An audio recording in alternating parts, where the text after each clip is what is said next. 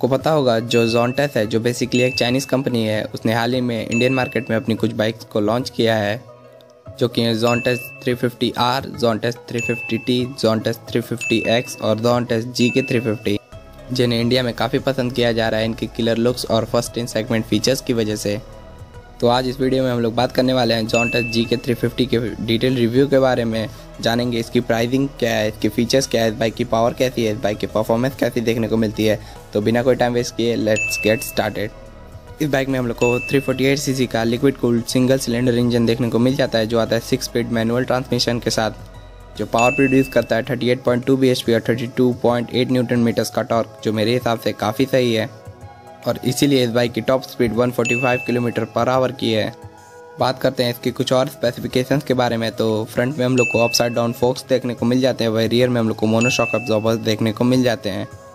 इस बाइक में हम लोग को dual disc with dual channel ABS को देखने को मिल जाता है। बात करें इसके डिस्क साइज़ की तो फ्रंट में हम लोग को 320 ट्वेंटी mm की डिस्क देखने को मिल जाती है, वही रियर में हम लोग को 265 सिक्सटी mm की डिस्क देखने को मिल जाती है। लेकिन एक मस्त फीचर जो इस बाइक में नोटिस होता है, वो है इसका एग्जॉस्ट जो फुल एम वी एगुस्टा वाली फील देता है साइड में, आप देख सकते हैं।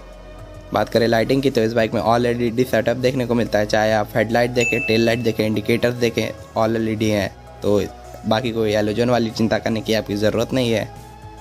इस बाइक में 17 लीटर्स की मैसिव फ्यूल टैंक कैपेसिटी देखने को मिलती है तो मतलब एक बार फुल टैंक कराओ और आराम से घूमो, क्योंकि इस बाइक की माइलेज है 30 किलोमीटर पर लीटर इस बाइक का जो वेट है वो 188 एटी का है। और इस बाइक की जो ग्राउंड क्लियरेंस है वो 795 नाइन्टी mm की है, जो मुझे पर्सनली थोड़ी कम लगी इंडियन रोड्स के हिसाब से। इस बाइक में हम लोग को 17 इंच का व्हील साइज़ देखने को मिल जाता है और इस बाइक में हम लोग को स्पोक व्हील्स देखने को मिलते हैं अलॉय व्हील नहीं मिलते हैं, जो मुझे पर्सनली काफ़ी डिसअपॉइंटिंग लगे। लेकिन क्योंकि एक क्रूज़र बाइक है तो उतना कुछ फ़र्क नहीं पड़ने वाला है। इस बाइक में हम लोग को डिजिटल स्पीडोमीटर देखने को मिल जाता है, लेकिन कोई भी कनेक्टिविटी देखने को नहीं मिलती है।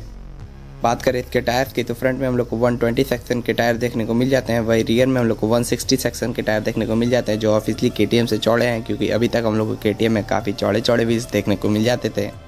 ये बाइक हम लोग को तीन कलर ऑप्शन में देखने को मिल जाती है जो कि ये ब्लैक ब्लू सिल्वर ऑरेंज और ब्लैक गोल्ड ऐसे ब्लैक गोल्ड सुनने से कुछ और भी याद आता है। सॉरी मज़ाक कर रहा सॉरी मज़ाक कर रहा था। जो मेन पॉइंट है इस बात का, वो है इसकी प्राइसिंग तो बात करते हैं इसकी प्राइसिंग के बारे में। तो इस बाइक की जो एक्स शोरूम प्राइस है, वो three lakh forty seven thousand rupees है। और जो ऑन रोड प्राइस है, वो three lakh ninety thousand rupees है, जो वेरी कर सकता है आपकी सिटी के हिसाब से।